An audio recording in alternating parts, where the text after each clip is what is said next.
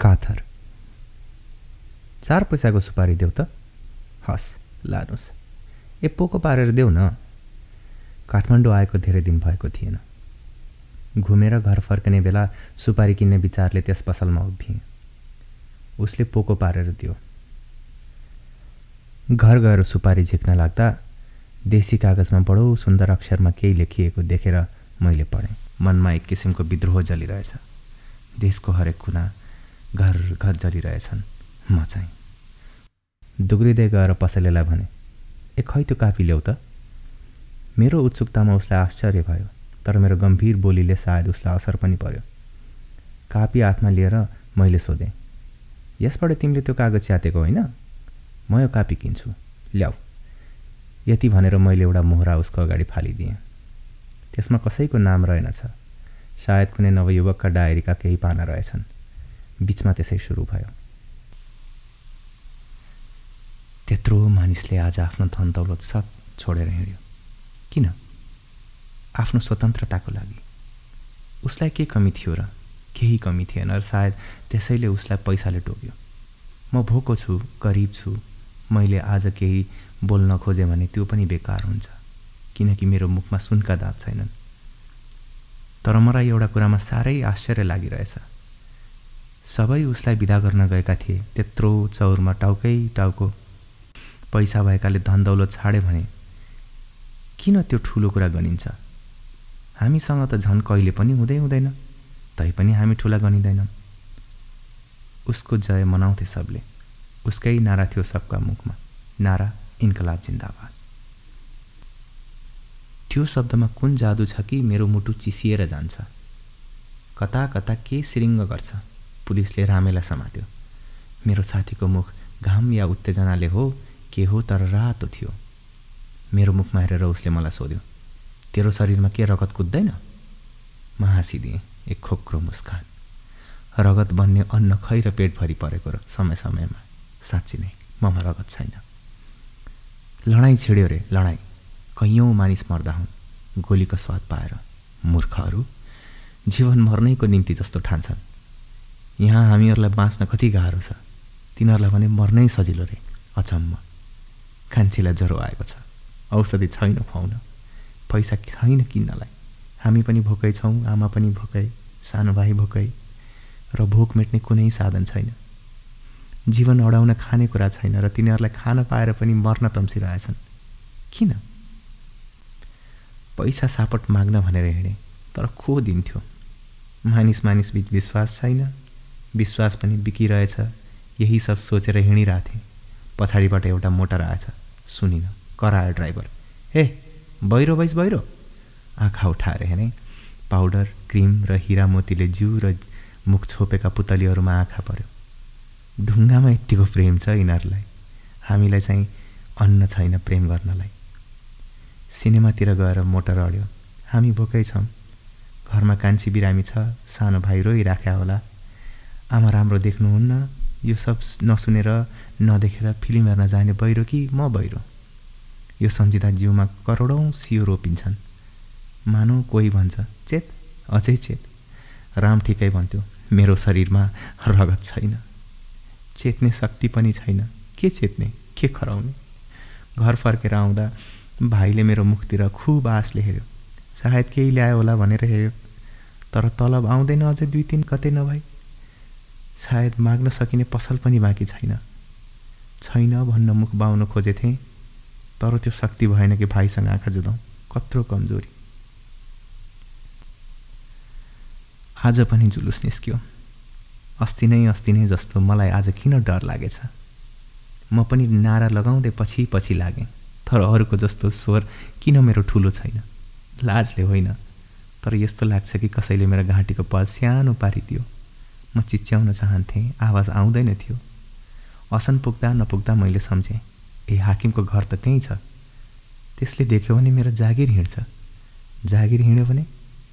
अरू अगाडि सोच्नुभन्दा पहिले म छेडोपट्टिबाट लागिसकेको थिएँ। बेसै भएछ।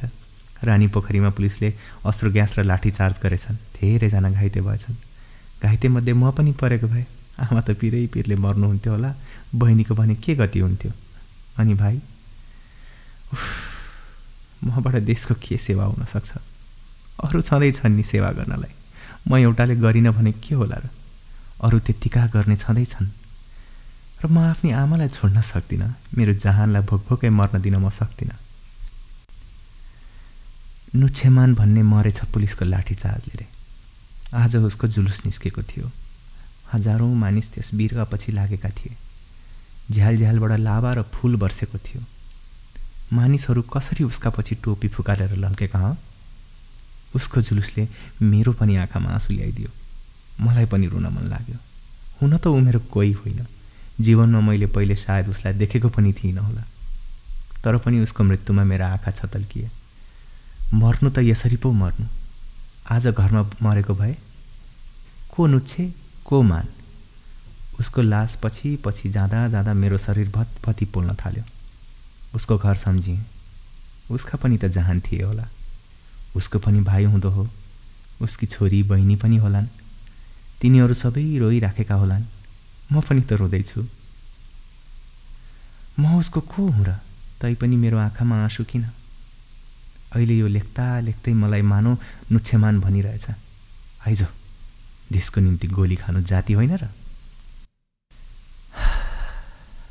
निन्द्रा किन लाग्दैन आजभोलि मलाई के भएको यो? आँखा चिम्ली निधाउन खोज्छु कि कोही मेरो कानमा आएर भने सर लाग्छ? काथर? अझै चुप्छस् मनको यो भावलाई पन्छाउन खोज्छु। नुच्छेमानको जुलुस मेरो आँखामा फर्न आउँछ। अनि म सोध्छु म मऱ्यो भने पनि त यसरी नै बोकेर लैजानेछ नि त मलाई पनि। तर मऱ्यो भने होइन मारिएँ भने। सायद त्यसै गरी मेरो जयनाथ नेपालका गल्लीहरूबाट उठ्नेछन्। मानिसहरू त्यसरी नै टोपी फुकालेर मेरो पछि लम्किनेछन्। सबैका आँखामा आँसु सबैको मुखमा मेरै नाम। तर मेरी आमा भाइ कान्छी यिनीहरूको के गति हुनेछ? म के गरौँ? अझ मैले केही। यहाँनिर कागज च्यातिएको रहेछ। अनि अर्को पानामा बिचबाट त्यसै गरी सुरु भयो। तर अब त्यो छैन। मनभित्र एउटा बलियो पर्खाल मैले बनाइसकेँ मन नजन्मिएको भए पनि त आमाहरूको सायद काम रुक्ने थिएन त होला। होइन? अनि आमाले किन नसोच्नु कि म जन्मिँदै जन्मिनँ? जहाँ बोल्ने खाने हेर्ने बुझ्ने शक्ति नै छैन त्यस देशको म एउटा प्राणी रे। म के मात्रै बाँचेको छु र हो? अब यसरी मरेर के बाँच्नु? बरु एकछिन भए पनि बाँचेरै मर्छु। चौबिस वर्षको यत्रो जीवनमा हात र मुख जोड्नु बाहेक मैले के नै गर्न सकेर हँ? हाम्रो तलब बढ्ने रे। केटाकेटीलाई पापा दिएर मुखमा बुझो लगाउने जस्तै हो। लाखौँ आज मरिरहेछन्। लाखौँ अझै जान्दैनन्। उनीहरू किन गरिब छन्? केही दिन अगाडि म पनि त जान्दिनँ थिएँ नि।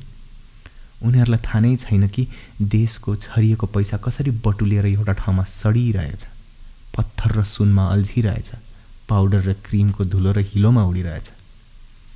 मेरा सबै साथी आज जेलमा कुहिरहेका छन् र म चाहिँ सेतो ब्याज लाएर सडकमा हिँड्ने। कसैले मेरो मुखमा गौड गरेर हेऱ्यो भने पनि मेरो शिर निहुरिन्छ। ऊ के सोच्दो हो? एउटा मुर्दा सिँगारिएर हिँडिरहेछ भन्दो हो। साँच्ची हो राम ठिकै भन्थ्यो। मेरो शरीरमा रगत छैन। तर अब म देखाउने छु कि शहीदहरूको रगत खेर भएको छैन। त्यो त सोहरिँदैछ मेरो जिउमा थोपरिएको छ। मेरा वीर दाजुहरूको तातो रगत किन खेर जान्थ्यो र? म अरूलाई देखाउने छु कि म मरेको छैन म बाँचेकै छु। मेरो मनमा एक किसिमको विद्रोह जलिरहेको छ। ममा के कमी छ र म मात्रै पछि रहिरहँ? आज जताततै आगो सल्केको छ। देशका हरेक कुना कुनामा घरहरू सल्किरहेका छन्।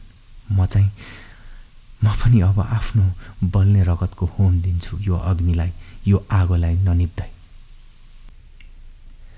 भोलिपल्ट मैले पसलेलाई सोधेँ। हिजोको कापी कस कहाँबाट तिमीले ल्यायो हँ? ए कृष्ण चाको आमाले उसको किताब कापीहरू बेचेको थियो त्यहीँ हो बिचरा गरिब छन् एउटा कमाउने छोरो पनि मऱ्यो मऱ्यो कि? ए म कहाँ? तपाईँलाई थाहै रहेनछ। उही जेलनिर गोली लागेर मर्ने क्या त? ए उसको पनि जुलुस निस्क्यो त? ए कहाँको जुलुस हुनु? धेरैले थाहा नै पाएनन्। कर्फ्यू लागेको थियो नि त्यो दिन।